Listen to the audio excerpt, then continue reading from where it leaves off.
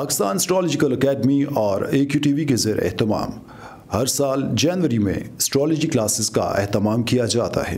आप दुनिया भर में कहीं भी मुकीम हो, इन एस्ट्रोलॉजी क्लासेस का हिस्सा बन सकते हैं। ए क्यू जेमस्टोन्स असली, मुस्तनद और मयारी जेमस्टोन्स का बातमाद इदारा।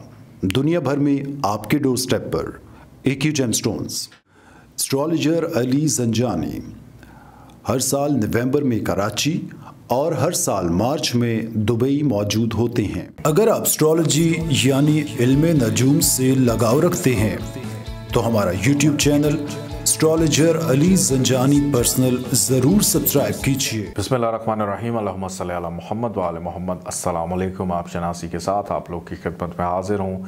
आज हमारा मौजू ज़र बहस है वो है मैज़ान और तल्फ का साथ, यानी लिब्रा और एक्वेरियस का साथ देखेंगे। मज़ीद इस पर आज गुफ्तु करेंगे कि इन दोनों में जहनी और जज्बाती यकसानियत बहुत ज़्यादा होती है। इसके लिए इनके दरमियान अव्वल तो कभी गलत फहमी पैदा होने का इम्कान ही नहीं होता और अगर कभी ऐसा हो भी जाए तो ये किसी बड़े इख्तलाफ या झगड़े की शक्ल इख्तियार नहीं करता। दल्व में नए नए ख्याल और रुझान पैदा करने की सलाहियत होती है और मैज़ान में इन तस्वुरात को अमली शक्ल देने की अहलियत। इस दो तरफ़ा ताल्लुक़ में मेज़ान की हैसियत एक मतहमल और ठंडे मिजाज वाले फ़र्द की और दल्व की हैसियत क़वत बर्दाश्त और तस्लीम और रज़ा की सी है। लिहाजा ये दोनों एक दूसरे के लिए बेहद मुआवन और मुफीद रहते हैं और इनकी जोड़ी बहुत कामयाब होती है। इजाज़त दीजिए, अल्लाह हाफिज़।